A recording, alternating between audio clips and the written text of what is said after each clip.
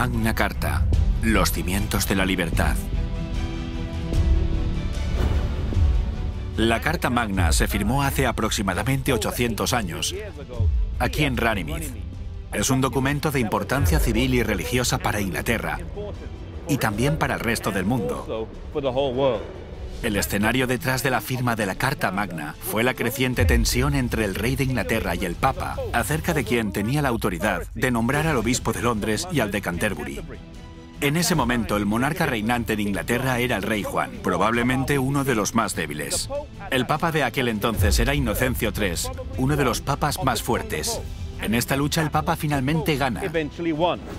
Como el rey no podía contar con el apoyo de los varones, ya que entre ellos estaban enfrentados, finalmente cede ante el legado papal en el año 1213. Incluso pone su corona a sus pies como muestra de sumisión.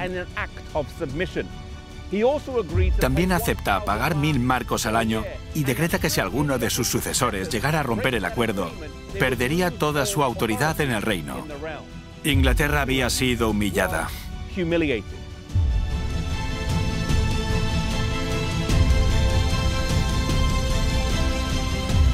Los varones estaban atónitos y actuaron.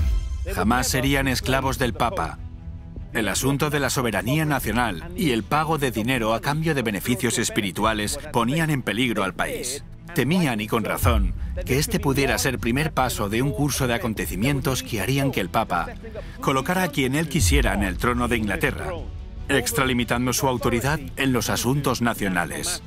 Estos fueron los principales motivos que los llevaron a firmar la Carta Magna el 15 de junio de 1215.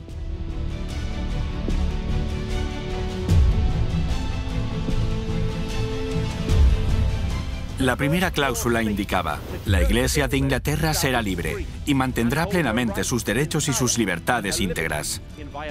Este punto será importante en los próximos 150 años.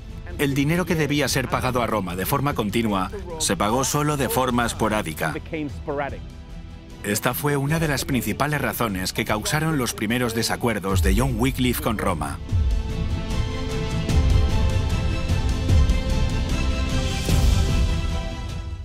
Otro aspecto esencial de la Carta Magna fue que ayudó a establecer algunos aspectos de la ley. El rey y los legisladores estaban sujetos bajo la misma ley que ellos mismos habían escrito. A los acusados se les garantizaba el derecho de ser juzgados por un jurado formado por iguales. Estas y muchas otras cláusulas formaron los cimientos de la ley y la justicia que hoy conocemos hoy en día.